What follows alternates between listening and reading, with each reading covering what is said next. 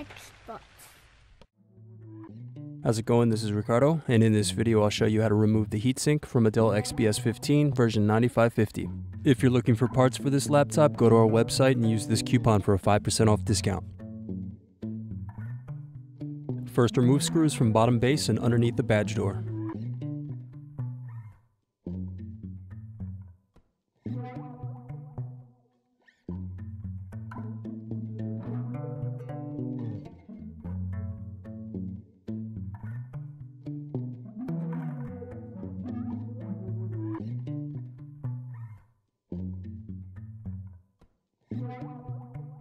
Then remove bottom base.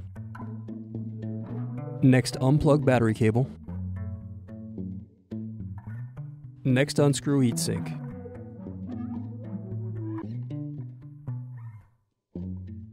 Then remove and clean the heatsink. Need more? Check out these other tutorials. For batteries, click here. For hard drives, click here. For wireless cards, click here. Thanks for watching. If you enjoyed this tutorial, give this video a like and subscribe to our YouTube channel. Check the video description below for links to written tutorials and replacement parts.